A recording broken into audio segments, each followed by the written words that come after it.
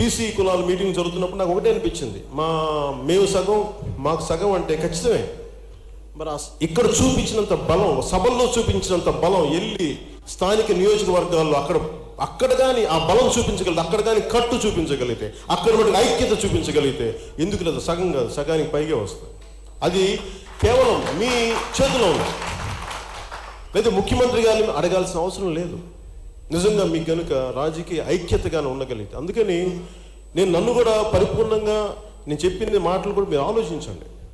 నేను మీకు నిలబడగలిగే వ్యక్తిని అని నమ్ముకున్న మీకు అనిపించినప్పుడు ఎందుకంటే మీరు అందరిలాగా ఇక్కడ ఇద్దరు ఇద్దరు నాయకులు ఉన్నారు. ఒక నాయకులు ఏమేమంటారు? నన్ను ఇంకోసారి ముఖ్యమంత్రిని చేయించండి అద్భుతాలు చేస్తానంటారు. ఇంకొక నాయకులు నన్ను ఇంకో నేను ముఖ్యమంత్రిని చేయండి అప్పుడు చేసి చూపిస్తాను. నేను అవేం అడగట్లేదు. నేను అడిగేది ఏంటంటే మీకు అండగా నిలబడతాను. నేను మీరు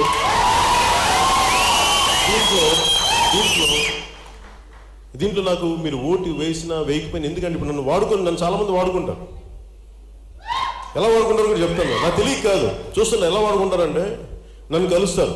కలిసి చంద్రబాబు నాయుడు గారికి మెసేజ్ పంపిస్తాను పవన్ కళ్యాణ్ కలిసి ఎదురు వాళ్ళ కార్పొరేషన్ చైర్మన్ అని వస్తాయి లేదంటే మొన్న ఈ మధ్యన ఒక రెండు మూడు జిల్లాల్లో కూడా పదవులు ఇచ్చేశారు వాళ్ళకి అలాగే లేదంటే నువ్వు ఇవ్వకపోతే నువ్వు జనసేనకి వెళ్ళిపోతానంటే వాళ్ళ దగ్గర మీరు నాకు ఏదో ఎంపీకి ఎమ్మెల్యేగా కా మీకు నెక్స్ట్ అంటే అలా కూడా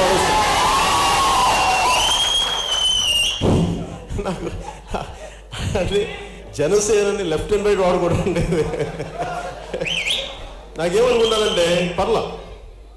నేనేమనుకుంటాను ఎందుకు వదిలేస్తానంటే నేను వచ్చింది ఒక జనరేషన్ కోసం రాలా ఒక తరం కోసం రాలా.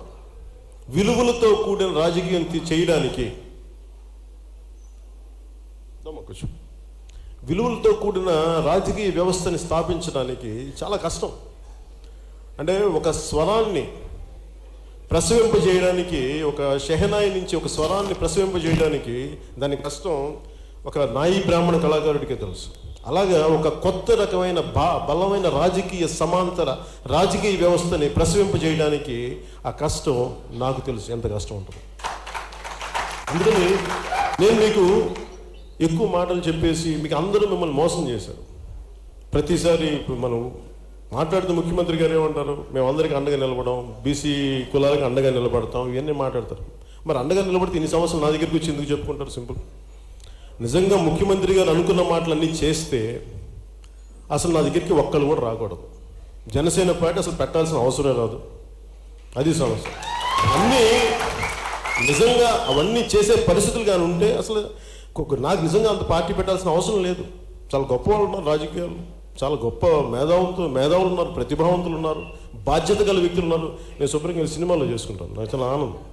చదువుకుంటాను కానీ ఇవన్నీ లేకపోబట్టే ఇవన్నీ బాధ్యత రాహిత్యంతో ఉండబట్టే నేను సగటు మనిషిని మీలాగే. నేను ప్రత్యేకంగా ఏం పుట్టలా?